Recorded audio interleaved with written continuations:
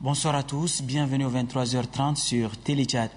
Le président de la République, Idriss Déby Itno, a regagné N'Djamena cet après-midi après une visite de travail à Faya. Une visite qui a été consacrée aux questions de développement de la région de Borkou. Au bas de la passerelle pour accueillir le chef de l'État, le chef, du gouvernement, Joseph Djimrangar Danadji, et plusieurs hautes personnalités qui ont fait le déplacement de l'aéroport international Djamousso.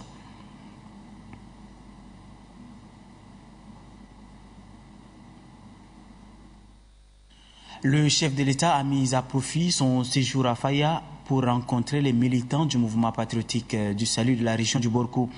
La rencontre du président fondateur du mouvement patriotique du salut avec les militants de son parti porte essentiellement sur un projet de développement de cette région qu'il entend exécuter en 2014. Innocent Kilayo.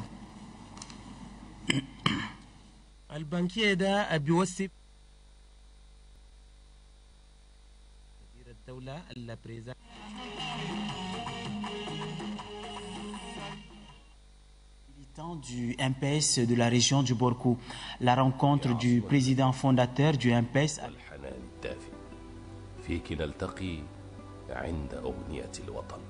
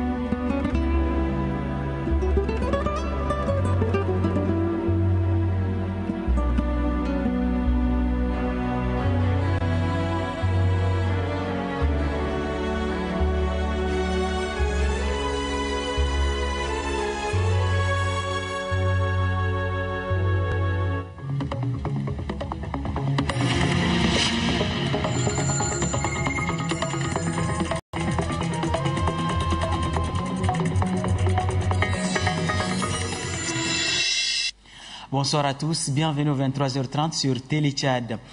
Le président de la République, Idriss Déby Itno, a regagné N'Djamena cet après-midi après une visite de travail à Faya. Une visite qui a été consacrée aux questions de développement de la région de Borkou. Au bas de la passerelle pour accueillir le chef de l'État, le chef du gouvernement, Joseph Djimrangar Danadi, et plusieurs hautes personnalités qui ont fait le déplacement de l'aéroport international Hassan Djamous. Le chef de l'État a mis à profit son séjour à Faya pour rencontrer les militants du mouvement patriotique du salut de la région du Borkou. La rencontre du président fondateur du MPS avec les militants de son parti a porté essentiellement sur un projet de développement de cette région qu'il entend exécuter en 2014. Innocent Kilayo. Au siège du conseil régional du MPS de Faya-Largeau en ce jour du 29 juin 2013, l'ambiance est inhabituelle. Venus de plusieurs endroits de Faya-Largeau, les militantes et les militants du mouvement patriotique du salut ont investi massivement le siège du conseil régional de leur parti. Quelques minutes plus tard, c'est le secrétaire général du MPS, Dr Beyo Malo Adrien, qui fait son entrée au siège.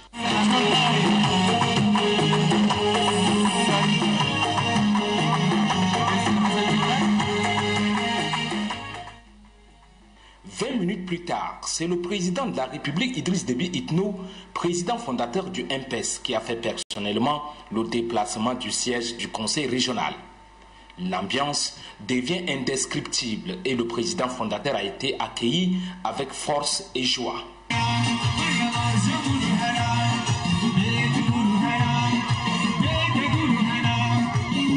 Pour le secrétaire général régional du MPS du Borgou, c'est l'occasion de réitérer l'engagement de ses camarades à soutenir le président fondateur qui a multiplié les réalisations dans la région du Borgou. Dans la région du Borgou, les réalisations faites sont nombreuses. Les efforts fournis par le gouvernement sous votre impulsion sont énormes. Cependant, Excellence pour l'aménagement de la ville de Faya, promesse tant entendue par la population et qui n'a encore connu un débit d'exécution par le gouvernement, nous espérons vivement que cette visite donnera un déclic pour la modernisation de la ville de cette ville. Le secrétaire général du MPS, Dr Beyo Malo Adrien, salue la populaire dont ont fait preuve les militants de Faye Larjo, car ils sont les premiers à recevoir le président fondateur de leur parti juste après la restructuration des organes de base du MPS dans les 23 régions. Quand le camarade président fondateur du MPS parle, c'est déjà une réalisation. Malgré les lourdes tâches d'État pour lesquelles il est venu au Borkou, tellement qu'il a aimé, tellement qu'il aime ses camarades, il a consacré un temps de ses occupations pour venir nous soutenir. C'est la première visite du camarade président à un conseil restructuré depuis le 5e congrès. Faya est le bastion du MPS. Faya restera le poumon du MPS et le cœur qui lancera les activités du MPS. Le président de la République, Idriss Déby Itno, président fondateur du MPS, très ému par cette forte mobilisation des militants de Faya Larjo, a d'abord demandé à Dieu Tout-Puissant d'accueillir l'âme du feu Idriss Ndele Moussa Yayami, secrétaire général adjoint du MPS et fils de Faya Larjo, dans son vaste royaume. Après la prière, le chef de l'État Idriss Déby Itno, fondateur du parti au credo Mourir pour le salut, a expliqué de long à large le projet qu'il compte initier pour le développement du Bourkou. Le projet démarrera en 2014.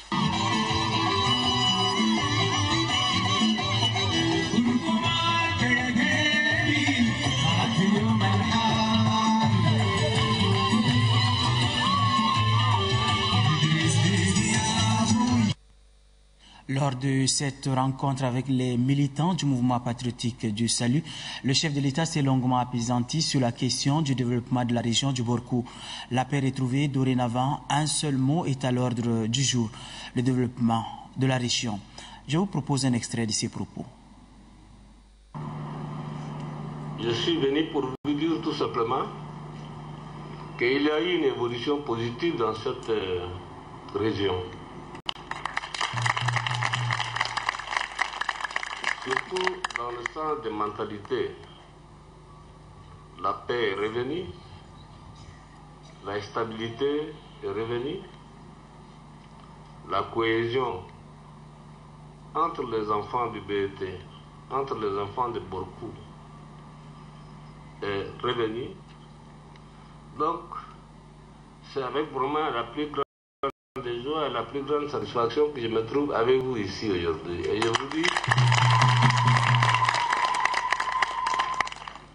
il faut continuer.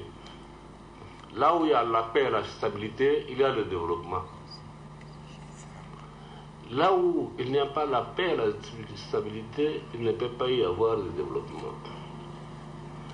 Faya, certains d'entre vous n'ont pas connu quand moi j'ai vécu ici à Faya dans les années 60. À dire vrai, quand on regarde qu'est-ce qu'il a eu comme évolution euh, dans son développement, pas seulement Faya, dans l'ensemble de Borpo, et dans une certaine manière dans l'ensemble de l'ancien, en fait, disons, du BET. Tout ça, ce sont des problèmes qui ont retardé son développement. Et maintenant, le moment est venu. Le moment est venu, donc je suis venu pour vous dire que j'ai un programme maintenant le cap de la stabilité et de la paix, surtout de la mobilisation aussi. C'est la mobilisation au sein de votre parti pour me permettre de lancer le développement de la région de Borkou et particulièrement la ville de Faya.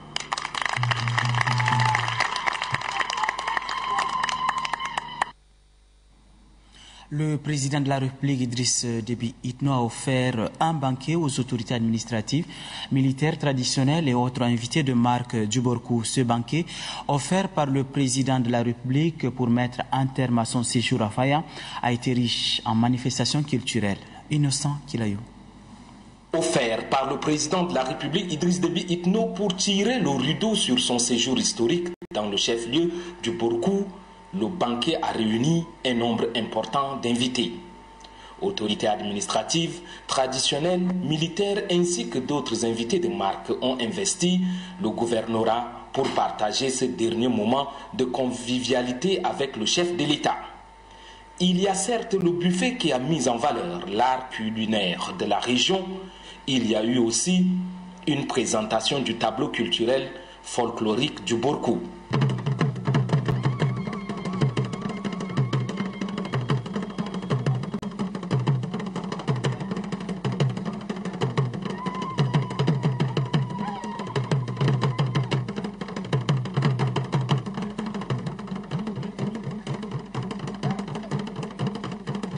À ce tableau riche et varié des mouvements de danse, rappelant parfois la marche du chameau, parfois sa course, mais aussi et surtout la patience et la bravoure, le chef de l'État Idriss Déby Itno a apprécié le spectacle.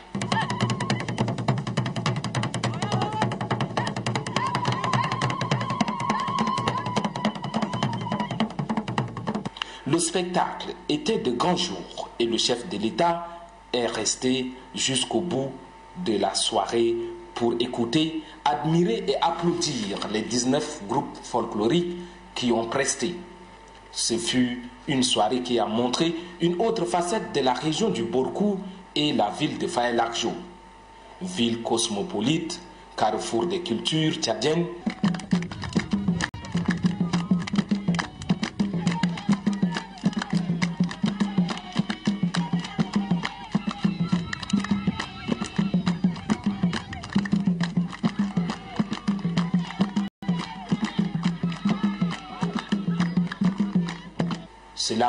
Pour dire que le répertoire n'était pas seulement du Borkou, mais le Tchad tout entier, dans sa splendeur et sa grandeur, s'est affiché au public. Faya Largeau a démontré qu'elle est bien le creuset de l'unité nationale.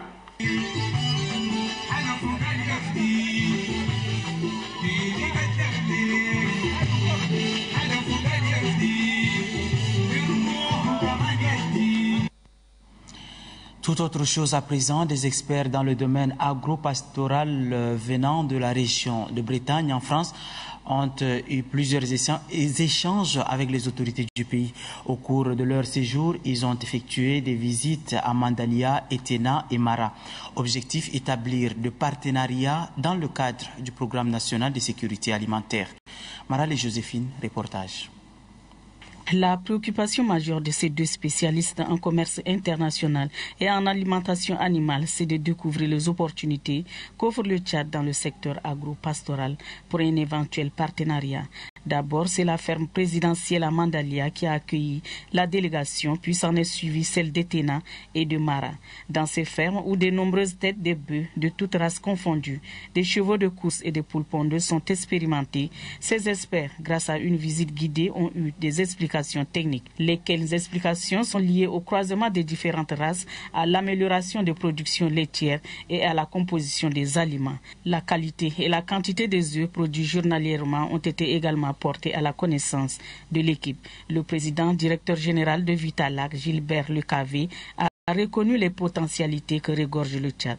La mission est bénéfique pour le Tchad, soutient le ministre du Développement pastoral et de production animale. Arrivé spécifiquement de cette mission d'experts qui sont venus de Bretagne, je pense que pour une industrie naissante telle que la nôtre, c'est toujours une bonne chose d'avoir des experts qui viennent pour pouvoir exactement nous donner leur avis. nous avons pas mal d'éléments qui sont en gestation. Je pense que hier, lors du Conseil des ministres, nous avons adopté un de nos dossiers les plus importants.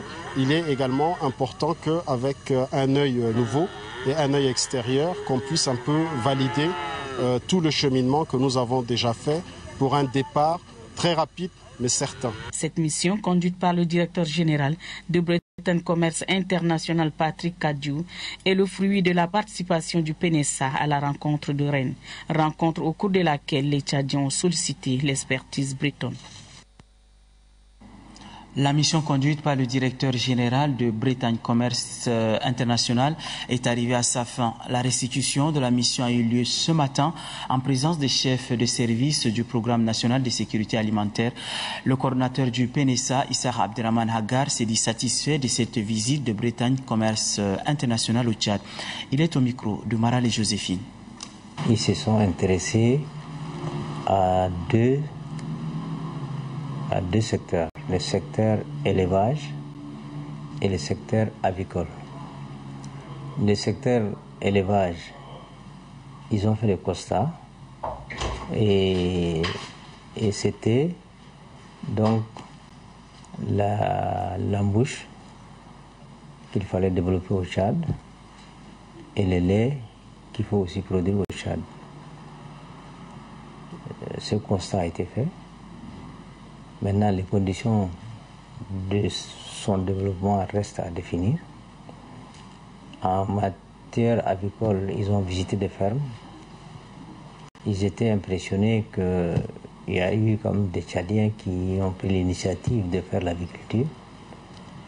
Et donc, ils nous ont demandé à ce que cette agriculture, cette agriculture-là puisse se développer. Le Rotary Club International a célébré hier la fin de son exercice annuel dans un hôtel de la capitale. Une occasion, d'une part, pour les membres d'assister à la restructuration de leur organisation et d'autre part, à l'accueil des nouveaux membres. Garangacham Irima. Le calendrier du Rotary Club International débute le 1er et prend fin le 30 du même mois de l'année en cours. Pour célébrer l'année, les Rotariens, parents et amis se sont retrouvés à l'hôtel Nouveautel, non seulement pour échanger sur les réalisations, mais aussi joindre l'utile à l'agréable. Le président du Rotary Club, Maître Issang Garbassa, cède son fauteuil au docteur Ahmad Ali Hissène, un homme qui a fait ses preuves dans les activités rotariennes en gérant les différents projets au bénéfice de la population.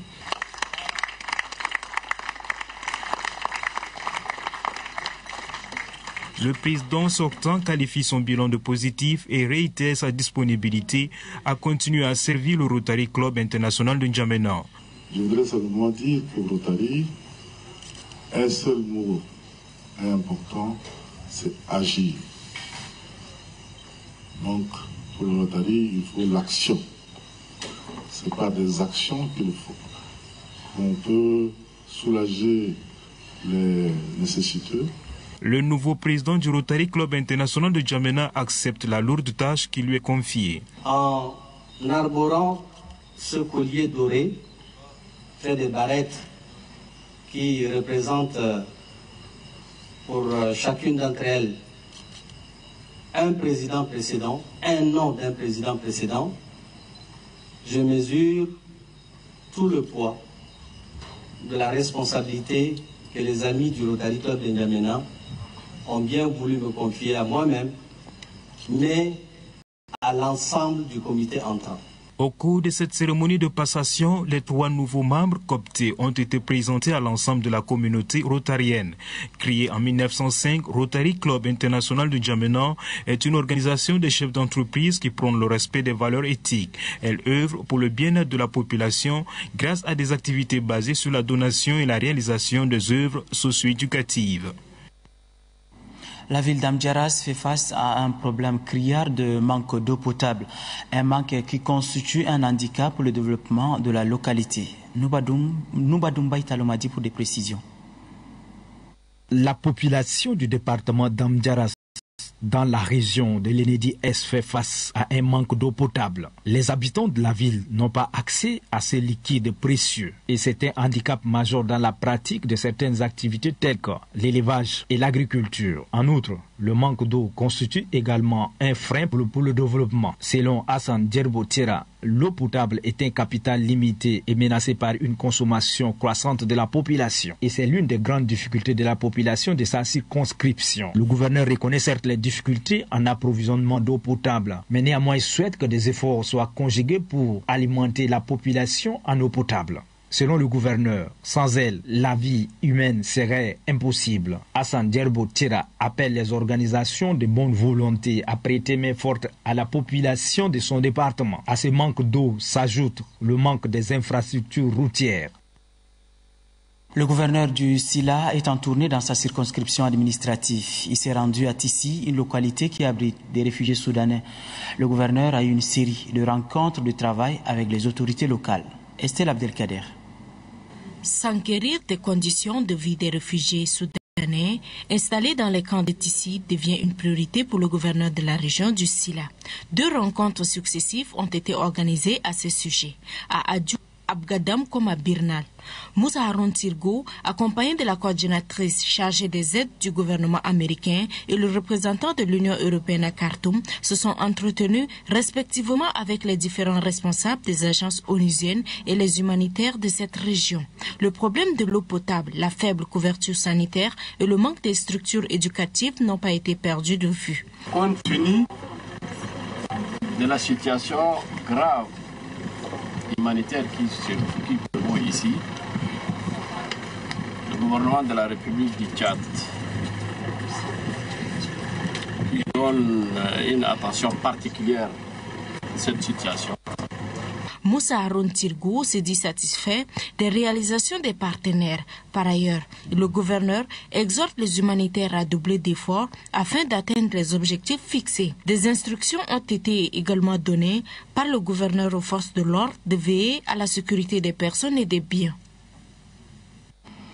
La session de formation des voleurs tchadiens dans le cadre du programme de développement de la structure sportive au Tchad s'est achevée hier soir au CIFOT. Cette session de renforcement des capacités sur les plans pratiques et théoriques vise à préparer les voleurs tchadiens à bien entamer les éliminatoires de la Coupe du Monde 2014. au fil les voleurs tchadiens qui se préparent à recevoir leurs adversaires de la zone 4 du Conseil supérieur des sports en Afrique sont bien préparés pour démarrer la compétition avec le moral au beau fixe.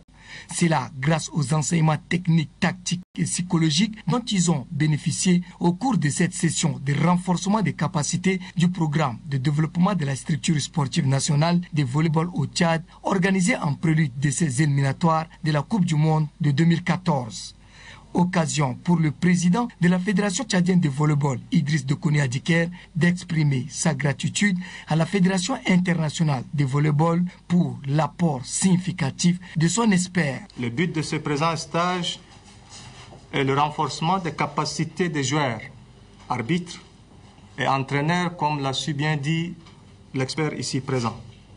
Le ministre de la Jeunesse et des Sports, qui n'est pas resté indifférent vis-à-vis de l'appui du comité olympique sportif tchadien, COS, espère que cette session de formation apportera un souffle nouveau au volleyball tchadien. Puis-je me permettre de saisir cette opportunité pour souligner avec fierté que le programme de développement du volleyball s'inscrit parfaitement dans la politique du ministère des Sports visant à renforcer les compétences techniques des acteurs essentiels vecteurs de la progression de la performance. Quant à l'expert de la Fédération internationale de volleyball, Sailen Rado, il se réjouit du comportement des stagiaires durant le 20 jours de travaux pratiques et théoriques. L'Union nationale des étudiants tchadiens organise un tournoi interfaculté et une compétition sportive artistique.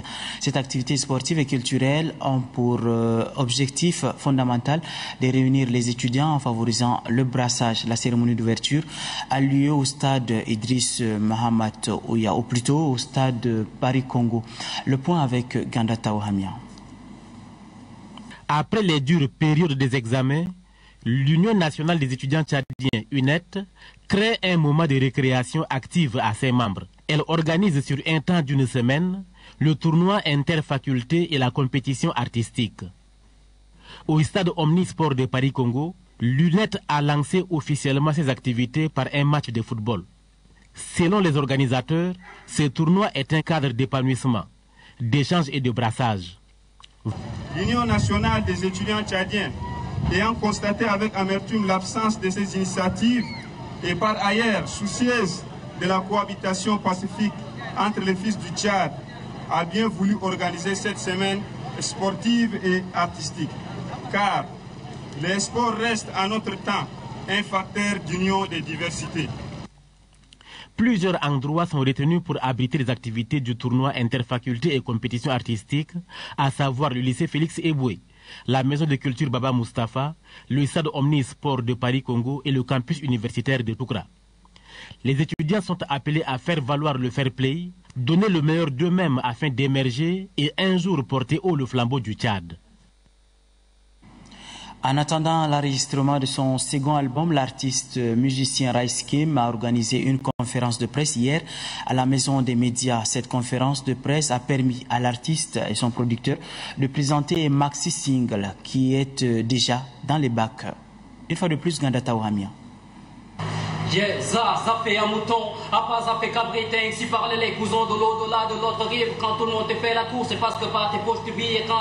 Ami du bar est l'un des cinq titres du maxi single lancé par le rappeur slammer Jasrabe Kimasom Yemia, alias Rice Kim.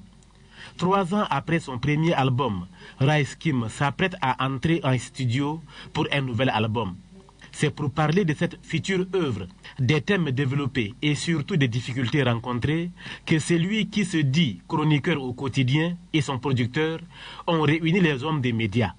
Je reste l'artiste, mais qui dit ce qu'il ressent au fond de lui-même et ce qu'il voit autour de lui-même. Et c'est comme ça, je pense, le titre qu'il faut donner. Chanteur de hip-hop, Rice Kim a toujours évolué en solo. Comme le précédent album, les textes de celui en gestation, composé de 12 titres, se baseront sur les faits de société.